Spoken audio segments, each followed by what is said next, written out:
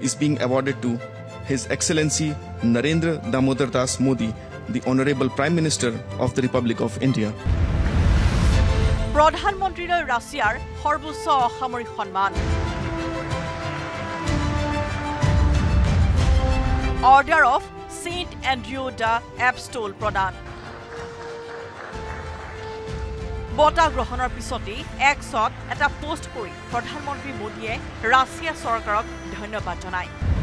এশ চল্লিছ কোটি ভাৰতীয়ৰ নামত এই বঁটা উৎসৰ্গা কৰে।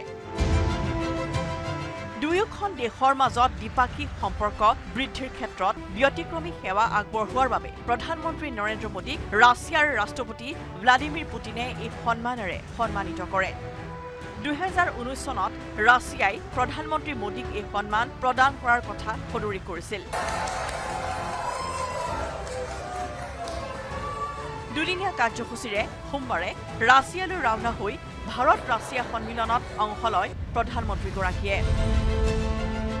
মঙলবাৰে আনুষ্ঠানিকভাৱে এই বঁটা প্ৰদান কৰে প্ৰধানমন্ত্ৰীগৰাকীক ৰাছিয়া আৰু ভাৰতৰ মাজত বন্ধুত্বপূৰ্ণ সম্পৰ্ক গঢ়ি তোলাৰ ক্ষেত্ৰত প্ৰধানমন্ত্ৰী মোদীৰ বিশেষ অৱদানক এই বঁটাৰে স্বীকৃতি দিয়া হৈছে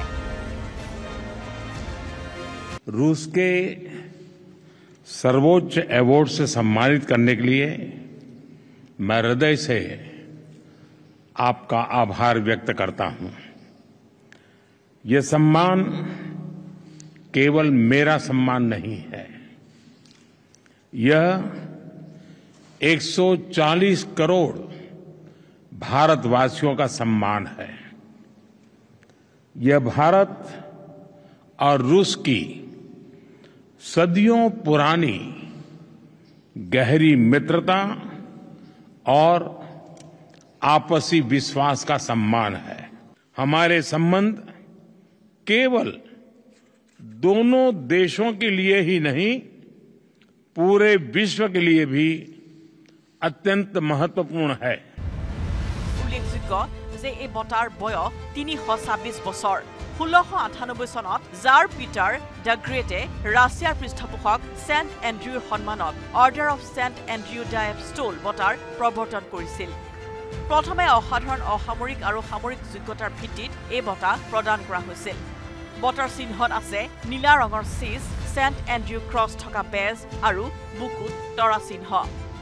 বেজটোত ছেণ্ট এণ্ড্ৰিউৰ সোণৰ ক্ৰছ এক্স আকৃতিৰ ক্ৰুচত যীশুৰ প্ৰতিমূৰ্তি আছে। International desk news eighteen Assam north east.